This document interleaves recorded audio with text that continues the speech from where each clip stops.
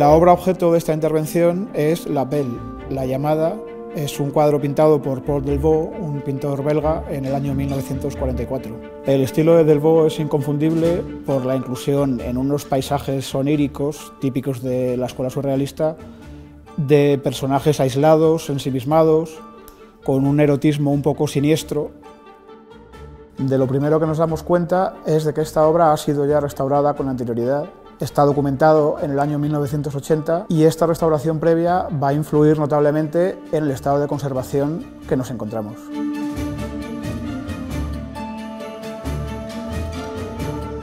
Hemos encontrado craquelados o pintura fracturada. Esto da lugar en ocasiones a pérdidas futuras de pintura.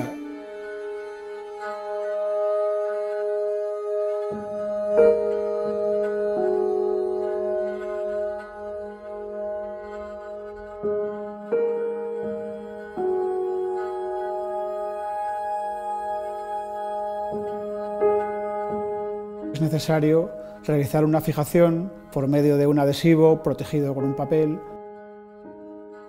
y aplicación de calor controlado y presión para devolver a su sitio la pintura que pueda ser susceptible de perderse. La alteración más importante que nos hemos encontrado desde el punto de vista del soporte es el destensado y la aparición de deformaciones, especialmente en los laterales de la obra. Para corregir estas deformaciones ha sido necesario despegar las zonas adheridas entre la tela original y la tela de la forración que fue aplicada en la restauración anterior, aplicar peso y humedad controlados alternativamente y tensar definitivamente la tela de nuevo en su bastidor. En esta fase se intenta eliminar de toda la superficie pictórica las sustancias ajenas a su naturaleza.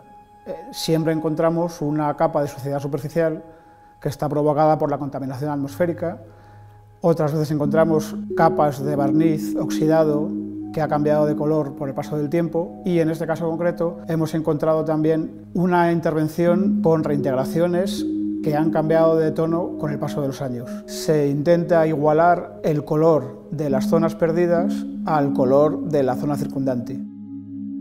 Para finalizar la restauración se aplicará una capa de barniz de protección final y el cuadro estará ya listo para ser montado de nuevo en su marco y ser expuesto.